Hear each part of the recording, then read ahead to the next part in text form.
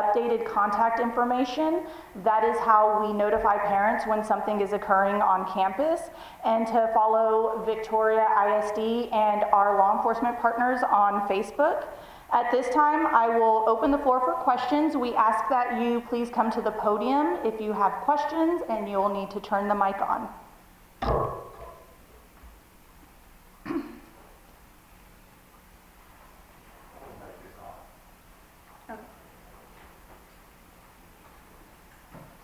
You said the mic is on.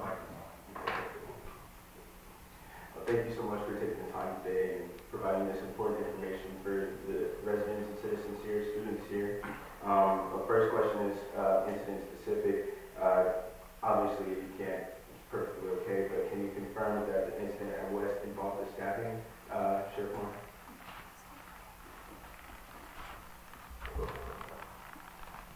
Yes. Um, No life-threatening in- injuries, to my knowledge. Um, I don't want to get into the, the weapons or anything like that, but that's what's under investigation right now. There's one in custody for that. Thank you. Um, So I would like to ask a little bit more general about the process, uh, if you will. Um, You said something about the DPS uh, scanning social media. Are there any um, position-specific, I guess, positions, somebody in particular uh, scrolling through? There, there's people in DPS's criminal investigation unit um, that are here, they're local, and, and they work well with our officers daily. They're constantly trying to stay ahead of it, um, so they're a valuable resource, no doubt. And so, um, just for my own knowledge, what is that process from they assess a threat to contact? Um, And from that point, what is the next steps of investigation? As far as in a, any immediate, I mean, each threat can be a little bit different. Um, if it's somebody that we're aware of, obviously we want to locate that subject right away. A lot of times it's, it's an unknown person, and that's where DPS is able to help us track down from, you know, IP addresses and stuff like that to try to figure out where this originated from so that the, the proper subject's dealt with. Okay, and um, so uh, at Channel 25, we reported on a few different incidents at local schools in the past several weeks. Um, One on September 12, or two on September 12, Cade Middle School and uh, Victoria West. Um, On September 10th, Victoria East and uh, Patti Welder on uh, September 19th. So could you just explain, a lot of those ended um, with the conclusion of being false reports. Um, What's the assessment process there uh, from the investigation, and how do you determine?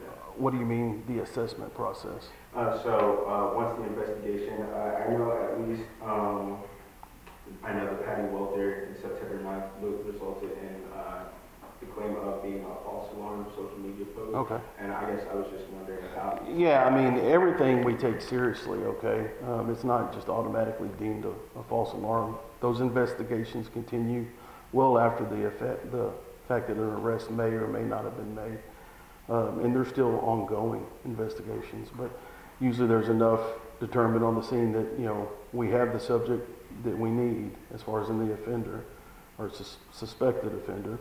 And, uh, we, we make an arrest on that right there, and then it continues on. Um, But that uh, handles it for that particular moment.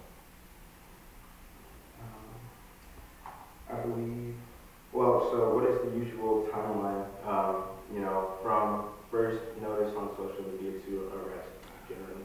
That varies. Um, There's times, there's a, a threat the night before that nobody's even aware of.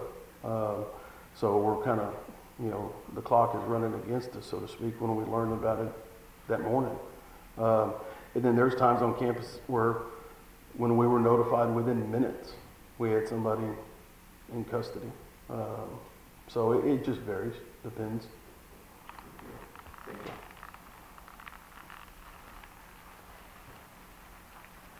Did we have any questions from any other media partners or any community members that are here today? Okay, with that, we will close out this press conference. Thank you.